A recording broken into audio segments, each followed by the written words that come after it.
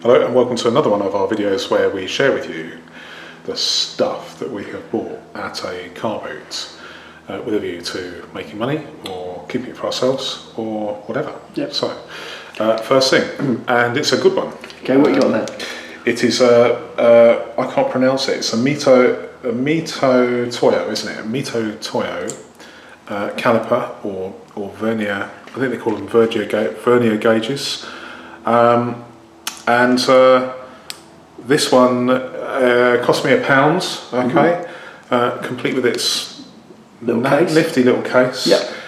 And uh, I've had a look, and these go for uh, the cheapest one was ten pound, wasn't it, on eBay? Yep. Um, but they average about fifteen. So uh, uh, nice little earner, I would say. I would definitely say so, yeah.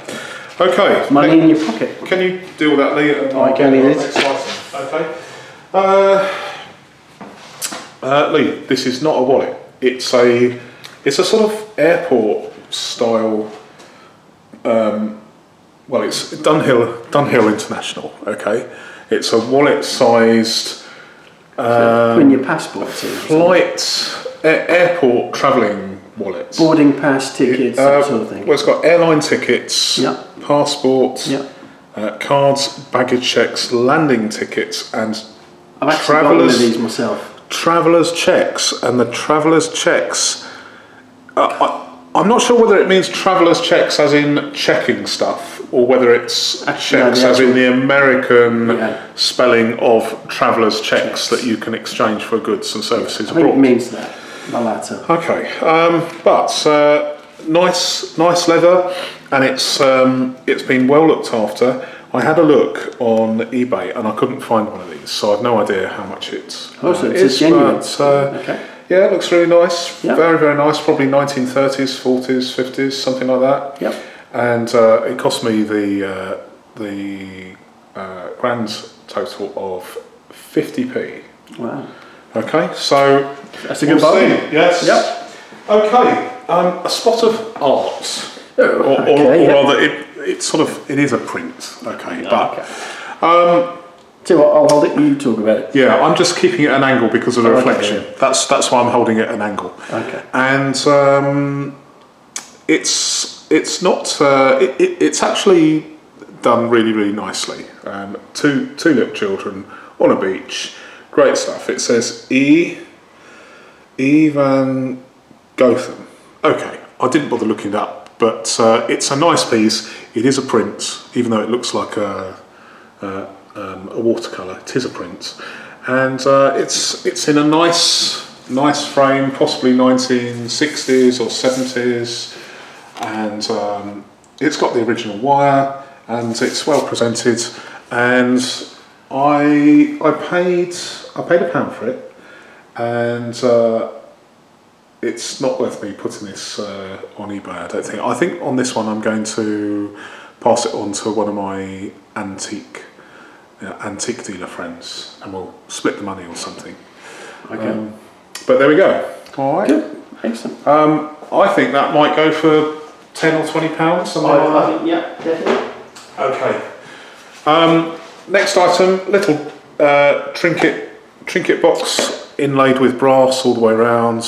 Um, it- I think they're I think they're sort of uh, plenty of these made in probably India. It's sort of vel- lined with velvet.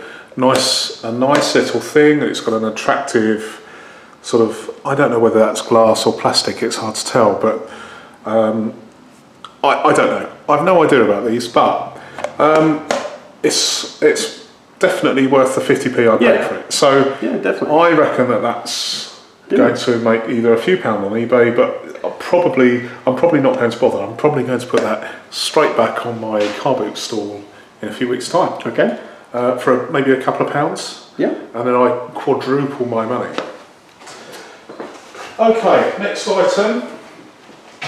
Oh, what you got there? Uh, next item is a it's a, a British Railways general appendix to working timetables and books of rules and regulations and it says 1st of October 1960. Okay, I don't know anything about this sort of thing. uh, but I know that some people collect this sort of thing. Um, another 50p item, but that's going to go straight back on my car boot um, because uh, I uh, well, it, it- I may I may just get my money back. I may you know it's a it's a bit of a gamble. Yeah. But uh, but there we go. Okay. Um, Yeah. okay. Next item, and I don't think I've I don't think I've made You any have money been on this. busy this week. Okay. Uh, Coldplay Live 2003. It's got all the music in there. Paid 50p for it. A lot of things are 50p. Have you noticed that? Everything seems to be 50p these days. Very rarely do I buy something for 25. It's always take 50p. Go on then. And um, I, I honestly thought uh, that this might be. Um, uh, I thought this might be worth going for, but I don't think so. Uh, I might lose money on this. Uh, so I think what I'm going to do is I'm going to just uh, liven up my store by putting this in my 50p 50p box. So I don't think I, I had a hunch, Yeah. but the hunch was wrong. But you're not it- gonna it lose Shows money. my shows my lack of knowledge. Okay. Okay, and uh, finally in this video, okay. Have you seen one of these before? It glows in the dark, and uh, it's it's basically it's it's one of those funny things. Well, let me take the lid off and I'll show you. Okay. I paid a pound for this, by the way. Um, you, you've got some. You've got some. Uh, you've basically got a couple of charts, and you've got two jigsaw puzzles uh, that make up these. Uh, these. It's these illustrated. Uh, okay, two large colour posters, a body facts booklet, and two jigsaw puzzles. So, fun for all the family on a rainy Sunday afternoon. I've just noticed as well it's for ages six years and up. So uh, that might explain why I had some difficulty trying to put it together earlier.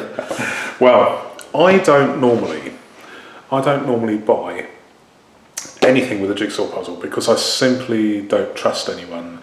When when you say are all the pieces there, and they go, oh yeah, and th- you just know that the chances are that. Uh, they, they've, there's no way they've taken the time Well, to count them. There's just no you should way. actually just say- How can anyone say, "Oh yeah, it's puzzle." definitely there"? Yeah. Well, as a little exercise, um, I bought this for a pound and I counted religiously every single piece. One jigsaw puzzle is 200 pieces and the other jigsaw puzzle is a mind numbing 300 pieces. So I actually physically counted 500 jigsaw pieces and unbelievably they were all there. Well, what do you know?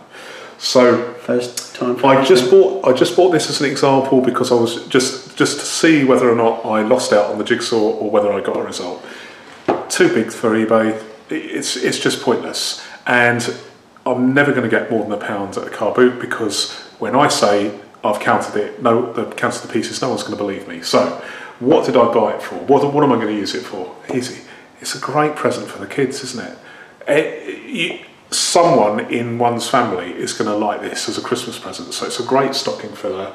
Down the car boot, a quid, and you have to pay even on even on eBay. You'd have to pay a fiver plus postage for something like this. So, hmm. yeah, Yeah. okay, right. Excellent. So another good boot sale haul. Yeah. You've done really well this week. Okay. Thanks very much for watching.